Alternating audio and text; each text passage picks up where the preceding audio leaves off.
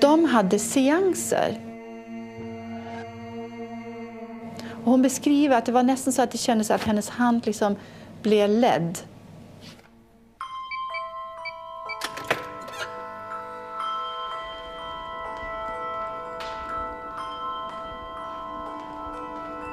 Her nede i de dunkle kjellerlokalene under det moderne museet i Stockholm opplevde Iris Müller Westermann det som er alle kunsthistorikeres drøm.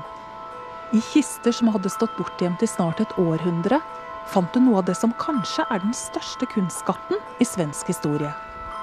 Bilder som også åpner døren til en skjult verden. Ja, og her er en av de to lådene. Og da var det jo veldig mye ihoprullede liksom, automatiske tegninger. Verk som aldri har rullet opp på 80 år. Så det var liksom hemmeligheter som eh, gjorde at jeg fikk gåshud liksom, direkte. Det var helt fantastisk.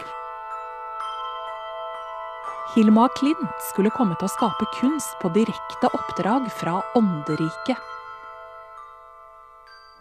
Men hun begynte jordnært nok, med landskapsmalerier. Hun var jo alltid veldig interessert av eh, naturvitenskap og liksom en større bild på hvem vi er liksom her i, i, i liksom verden.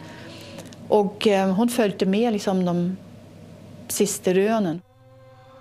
Fra oppdagelsen av røntgenstråler og elektromagnetisme til spiritisme som høyeste mote. I tiden rundt forrige århundre gikk vitenskap og magi hånd i hånd i søken etter ny forståelse for de usynlige kreftene vi er omgitt av. Så det var jo en tid hvor mye liksom forandret seg angående liksom, hva man trodde virkeligheten bestod av, og hvordan den så ut. Og hun tenkte seg sikkert hvordan kan jeg som kunstner nå den der verden som er så mye større enn det vi kan se og ta på? Hvordan kan jeg få kontakt med den? I ti år øvde Hilma Klint på å fange opp signaler fra en annen dimensjon, sammen med fire venninner. Så de hadde seanser. Eh, og det handlet vel om å bytte frekvens for å komme opp for å liksom ikke være i et dagsmedvetende, men litt under, i en avslappet alfavågstilstand. Og det i dag sier man man kan meditere, og da kommer man i en sånn tilstand. Og så, de har også begynt å tegne automatisk. Og hun beskriver at det var nesten så at det kjennes at hennes hand liksom ble ledd. Fra 1906 begynte maleriene å strømme fra Hilmas hånd med eksplosiv kraft. Enorme, gåtefulle bilder som ikke lignet noe man hadde sett tidligere.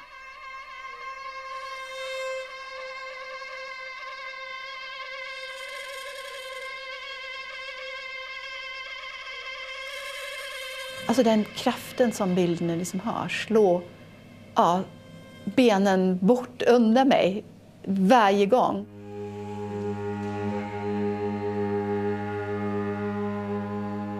Og med helt nye kombinasjoner av farger, former og symboler utviklet Hilma Klint et abstrakt bildespråk flere år før sine mer berømte mannlige kolleger.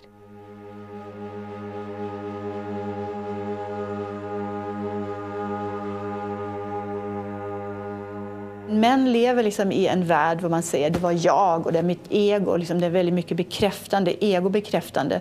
Men Hilma Klint kunne si det kom gjennom meg, men ikke av meg. Så at hun kjente seg koblet til en mye, mye større medvetenhet enn det hun hadde liksom, som individ Hilma Klint. Hilmas kunst skulle altså uttrykke en større sannhet om hvordan alt henger sammen bortenfor den synlige todelte verden. Ånd og materie, mannlig og kvinnelig, tro og vitenskap.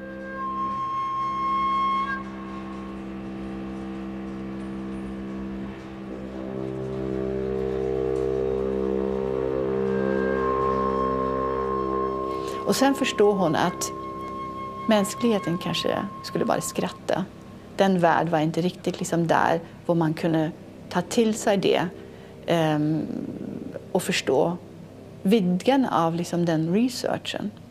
Så hun målade jo bilder for framtiden. I testamentet sitt skriver Hilma Klint at bildene ikke måtte vises før tidligst 20 år etter hennes død. Men det skulle gå 70 år før verden virkelig var rede for Aklints mektige og merkelige livsverk. Som omfattet over 1000 abstrakte malerier og tegninger. Vi lever i en verden hvor vi tror den er så rasjonell, og den er ikke det. Og jeg tror det er veldig mange unge mennesker som ser det og sier vi må vidge vyene.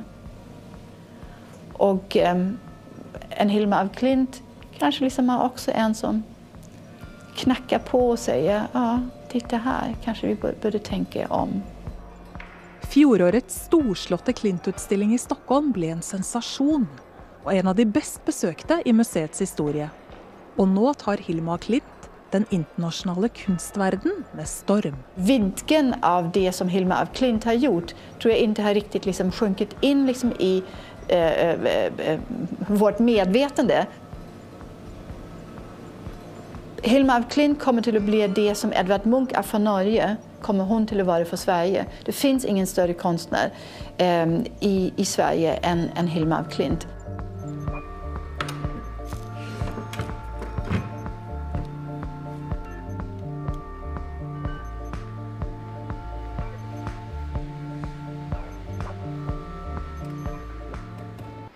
Har du kjent hennes anda her inne når du har stått ensom disse tidene?